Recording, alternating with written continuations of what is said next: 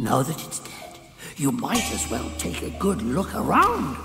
A great pill the Blackwing Guai had gifted the wolf. Finding it would be a deserving reward for that fight.